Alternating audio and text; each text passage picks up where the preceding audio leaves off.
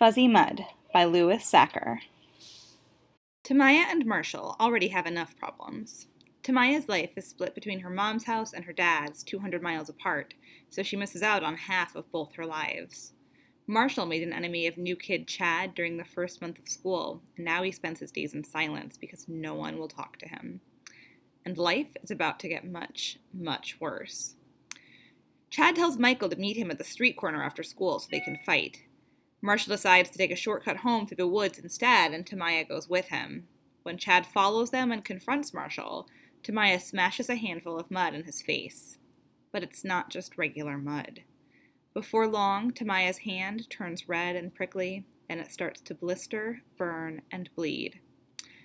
And then they realize it's contagious.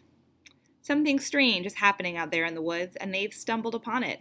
The conspiracy behind this fuzzy mud goes all the way to the top, and it will have deadly consequences for their entire town.